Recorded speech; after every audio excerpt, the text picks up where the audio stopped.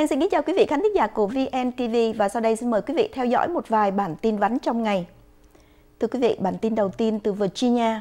Một đảng viên dân chủ ở Virginia đã bị truy tố vì tội gian lận, tham ô và trộm cắp liên quan đến các vụ việc được cho là xảy ra vào năm 2012. Sean Brown, 58 tuổi, xuất hiện trong phòng xử án ở Norfolk vào tuần trước và đã phủ nhận bất kỳ hành vi phạm pháp nào. Brown nói bà dự định sẽ chống lại các cáo buộc và chứng minh rằng mình không có tội.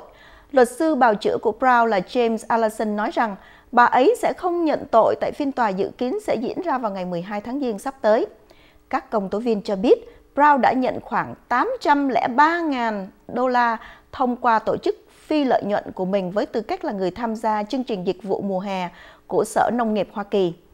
Các công tố viên cáo buộc Brown đã mua lại các quỹ bằng cách yêu cầu hoàn trả các khoản bồi thường sai lầm cho Bộ Y tế Virginia. Trước đó, ông Brown đã khởi kiện Bộ Nông nghiệp Hoa Kỳ, Sở Y tế Virginia và các cơ quan khác với cáo buộc phân biệt đối xử với những người Mỹ gốc Phi, thanh toán chậm, hoàn trả giả mạo và yêu cầu bồi thường.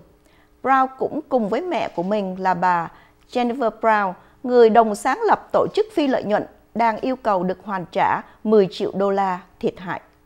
Thưa quý vị, một người đàn ông tự xưng là người đã đưa một gói phân ngựa đến nhà riêng của Bộ trưởng Tài chính Hoa Kỳ Steven Nugent ở Los Angeles. Người đàn ông đã làm điều đó để phản đối việc cải cách thuế liên bang mà Tổng thống Donald Trump đã ký vào tuần trước. Robert Strong, 45 tuổi là nhà tâm lý học của Phòng Y tế Công cộng Los Angeles. Ông cho biết rằng đã để lại bưu kiện chứa đầy phân ngựa cho Nugent và Trump trên đường lái xe bên ngoài nhà của Nugent. Khi đó, Nugent không có ở nhà và gói hàng đã được người hàng xóm của Nugent phát hiện. Strong nói rằng luật thuế mới đã làm hại người nghèo. Cục Cảnh sát Hoa Kỳ và Phòng Cảnh sát Los Angeles đang điều tra vụ việc và xác nhận rằng Strong sẽ là người chịu trách nhiệm khi gây ra vụ việc nêu trên. Đại úy Rob Ways của LAPD cho biết, nếu hộp quà không có bất kỳ mối nguy hiểm nào thì nó không vi phạm luật hình sự. Hộp quà sẽ được đội phá bom của LAPD chụp X-quang và chưa có cáo buộc nào được đưa ra đối với Strong. Thưa quý vị, một người phụ nữ mừng sinh nhật đúng vào ngày lễ Giáng sinh đã bị bắn chết. Cảnh sát đang truy bắt nghi can đã giết chết một người phụ nữ Florida và làm bị thương một người đàn ông trong vụ nổ súng vào buổi sáng ngày Giáng sinh. Các quan chức đã không xác định được nạn nhân ngay lập tức, nhưng một người phụ nữ nhận mình là mẹ kế của nạn nhân nói rằng nạn nhân đang ăn mừng sinh nhật lần thứ 34 vào ngày thứ hai, đúng vào dịp Giáng sinh. Vụ nổ súng xảy ra ngay sau 7 giờ sáng bên trong một căn phòng ở Eatonville, Florida, một người phụ nữ đã thiệt mạng ngay tại hiện trường và một nạn nhân nam được đưa đến bệnh viện gần đó. Nghi can đang bị cảnh sát truy bắt được xác định là Jason McDonald, 38 tuổi, đã trốn khỏi hiện trường bằng một chiếc xe tải Dodge Ram màu đen thuộc sở hữu của một trong những nạn nhân. McDonald cho biết là cả hai nạn nhân và nguyên nhân của vụ nổ súng vẫn chưa được làm sáng tỏ. Thưa quý vị, một người phụ nữ ở Minnesota đã bị bắt cóc bởi bạn trai cũ hồi đầu tuần đã được tìm thấy còn sống sót. Sở cảnh sát Minnetonka cho biết Nicole Smith đã bị bắt cóc vào hôm thứ Năm tuần trước ở khu ngoại ô Minneapolis thuộc Minnetonka và đã quay trở lại nhà riêng vào tối thứ Bảy.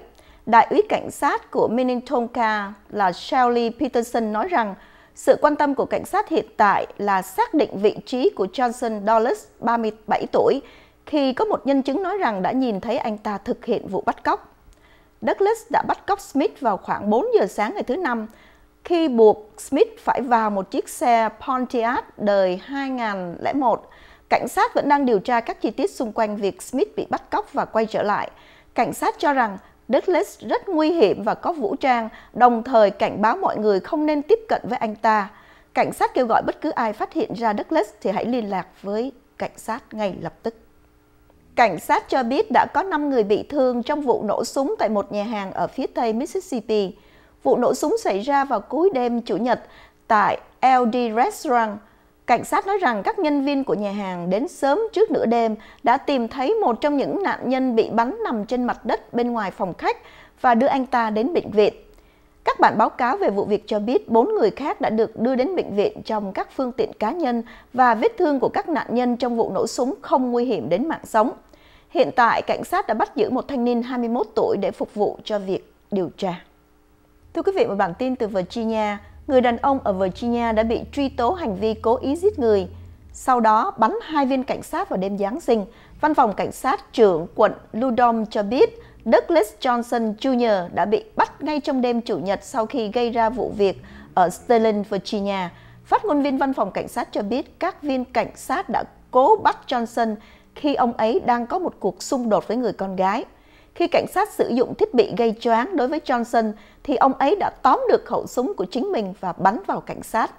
Hai viên cảnh sát đã được điều trị và đang hồi phục tại một bệnh viện địa phương. Họ bị thương ở tay và chân. Hồ sơ của vụ việc không cho biết luật sư của Johnson và ông này đang bị giam giữ mà không được bảo lãnh. Quý vị vừa theo dõi một vài bản tin vắn trong ngày.